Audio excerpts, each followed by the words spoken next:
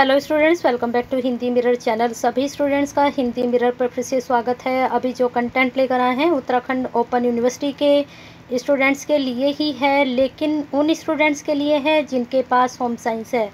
और home science भी जिनके पास मास्टर में होम साइंस है, उनके लिए है।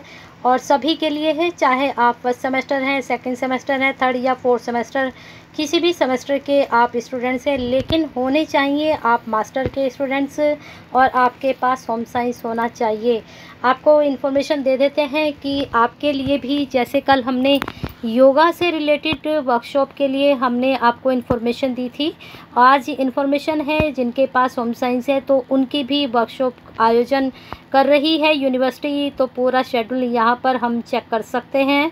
यहाँ पर आप देख सकते हैं, आपकी जो कार्यालय कार्यशाला चलेगी वह चलेगी सिक्सटीन टू नाइनटीन, यानी कि सोलह से उन्नीस अगस्त तक आपका ऑनलाइन माध्यम से आयोजित होगी।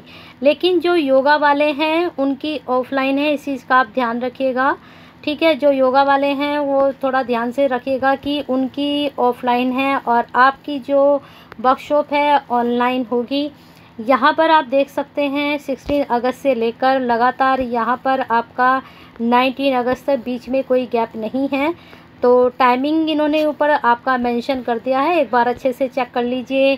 साढ़े दस से साढ़े ग्यारह, फिर पंद्रह मिनट का फिर ब्रेक है यहाँ पर, फिर ग्यारह पैंतालीस से बारह पैंतालीस फिर आपका इन्होंने दो घंटे का ब्रेक करके दो पंद्रह से तीन पंद्रह, फिर साढ़े तीन से साढ़े चार तक। अब यहाँ पर जो भी आपका सेकंड सेम के डॉक्टर प्रीति बोरा हैं, वो लेंगी। फिर यहाँ पर मिस्टर मोनिक मिसिज मोनिका हैं तो वो लेंगी यहाँ पर आपकी सेकंड सेमेस्टर की। जो वर्कशॉप होगी, वो कराएँगे। यहाँ पर पूजा भट्ट हैं डॉक्टर ज्योति जोशी हैं फोर्थ सेमेस्टर और थर्ड सेमेस्टर यहीं पर फिर इन्होंने दोबारा से रिपीट किया है सत्रह तारीख में। सेम ही रिपीट किए हैं और यहाँ पर अट्ठारह में भी और नाइनटीन में भी। तो आप थोड़ा ध्यान से देख लीजिएगा, बाकी इंस्ट्रक्शन इन्होंने नीचे दिए हैं इनको एक बार चेक कर लेते हैं। तो आप सभी को निम्न तिथियों के ऑनलाइन माध्यम से आवश्यक रूप से जुड़ना सुनिश्चित करना है यानी कि जितने भी स्टूडेंट्स हैं वो ऑनलाइन माध्यम से जुड़ेंगे। जो शिक्षार्थी इन कार्यशालाओं में उपस्थित नहीं रहेंगे यानी कि जो एबसेंट रहेंगे, उन्हें प्रयोगात्मक परीक्षा में शामिल नहीं होने दिया जाएगा। यानी कि जो आपके प्रैक्टिकल होते हैं यूनिवर्सिटी की तरफ़ से तो उन प्रैक्टिकल में आपको नहीं बैठने दिया जाएगा, ना ही आपके प्रैक्टिकल होंगे।